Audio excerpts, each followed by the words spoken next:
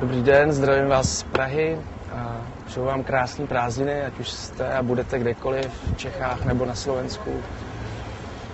A snad po prázdninách eh, se všichni vrátíte a budete chtít jít do kina, tak můžete jít na Janošíka, který je 10. září, má premiéru v Čechách i na Slovensku. A do té doby se mějte krásně a hezký prázdniny a mějte se rádi.